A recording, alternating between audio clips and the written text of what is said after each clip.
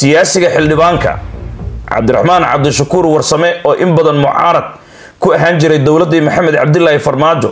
Haatanna saaxiib la ahaa dowladda xasan sheekh maxamuud uu hogaaminayo islamarkaana lagu tiriyo inuu yahay controlled opposition. Waxaa afka qalaad loo yaqaano balse laakiin haatan ee ka soo horka jeeda dastuurka bedelkiisii ee federaalka soomaaliyeed ee loo guurayo nidaamka madaxtooyada afka qalaad la yiraahdo presidential ayaa waxa uu daaqada siyaasadeed kala baxay. Madaxweynaha haatan jooga mudane xasan sheekh maxamuud ay saaxiibo ahaayeen islamarkaana ay ka soo wada jabhadeeyeen halka loo yaqaano marinaayo. Haddaba cabdiraxmaan cabdishakuur warsame oo maantay oo arbaco ah soo saaray qormo cajiib ah taasoo taabanaysa qalbiga iyo maskaxda madaxweynaha soomaaliya ee doonaya inuu dalka awoodda gacantiisii loogu ururiyo islamarkaana dictaatoriyad uu geliyo. Ayaa qormadiisii dastuurka taabanaysa cabdiraxmaan cabdishakuur warsame waxa uu ku bilaabay sida tan. Wuxuu yidhi markii ugu horeysay taariikhda siyaasadda soomaaliya ayaa waxaa dhici karta in xildhibaan uu sabtida u codeeyo baarlamaan aan madaxweyne dooranaynin ra'iisul wasaarena xil ka qaadi karin. Waxaa la yaab leh in xitaa la aamini waayey habraacii lagu murunsanaa ee dib u eegista dastuurka kaasoo dhigaya in marka ay dooda xildhibaanada soo idlaato muddo bil gudaheed ah lagu soo turxaan bixiyo tala soo jeedintii su'aalihii iyo sixitaankii ka yimid xildhibaanada. Kadibna lagu soo daro cutubyada laga dooday kadibna la tashiyo lala yeesho jihooyinka ka socda. Kow madaxtooyada jamhuuriyadda federaalk soomaaliya labo xukuumadda jamhuuriyadda federaalk soomaaliyeed. Saddex maxkamadda sare. Afar maxkamadda dastuurka. Shan maxkamadaha dowlad goboleedyada. Lix golayaasha wakiilada dowlad goboleedyada. Toddobo maamulka gobolka banaadir. Sideed maamulka s s c qaatumo sagaal culimada soomaaliyeed. Markaa kadib baarlamaanka dib loogu soo celiyo si loo xaqiijiyo in doodihii lagu soo daray la tashiyadii sagaalka jiho ee habraacu dhigayay la soo sameeyey kadibna si kumeel gaar ah aqlabiyad fudud oo boqolkiiba konton lagu daray hal ah lagu ansixiyo lala sugo ilaa iyo inta laga soo dhammaynayo dib u eegista cutubyada kale ee koob iyo tobanka ah ee dastuurka. Kolkaana si guud aqlabiyad buuxda oo saddex meelood laba meel labada aqal si kala gooni ah ugu ansixiyaan cabdiraxmaan habraacyadii ayuu kuu sharaxayaa habraacii la mari lahaa ayuu intaas kugu sharaxay madaxweynaha waxaa ku dheeraaday waktiga lagu soo turxaan bixiyo yacni waktiga lagu soo turxaan bixinayo doodaha xildhibaanada oo gaaraya in ka badan kun bog oo qoraal ah iyo la tashiyo sagaalka jiho ah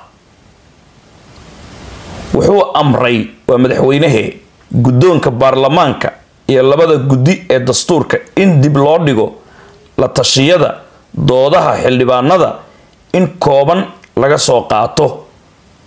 Khamiista beri ahna howlahaas la soo gabangabeeyo. Sabtigana si kama dambays ah cod buuxa loogu qaado. Markii ay guddoonka ku wargeliyeen in aan la heli karin kooran baarlamaan iyo tiro badan tiro ka badan laba boqol iyo labaatan xildhibaan inaan la heli karin. Markii lagu wargeliyey madaxweynuhu wuxuu ku adkaystay in intii timaada lagu socodsiiyo. Madaxweynaha wuxuu doonayaa in uu meel mariyo shan ajande oo laba ka mid ah uusan marna ka tanaasuli doonin. Kow in madaxweynaha qof iyo cod lagu soo doorto waxaa halkaa ku duugan in uu xilka haynayo ilaa iyo dalka doorasho qof iyo cod ah ka dhacayso. Hore uma dhicin taariikhda soomaaliyeed ee soomaaliya. Mar uusan baarlamaanku dooranin madaxweyne. Kun sagaal boqol lixdankii ilaa iyo labada kun iyo labaiyo labaatanka marka laga reebo xukunkii milatariga. Labo guddi doorasho oo qabta labada heer ee doorasho ee federaal ee dowlad goboleed taasoo ka dhigan go'aaminta cidda ka soo baxaysa doorashooyinka dowlad goboleedka. Saddex in jagada ra'iisul wasaaraha meesha laga saaro oo madaxweyne iyo madaxweyne ku-xigeen la sameeyo ama laga dhigo ra'iisul wasaare oo madaxweynuhu eryi karo baarlamaanka la'aantiis.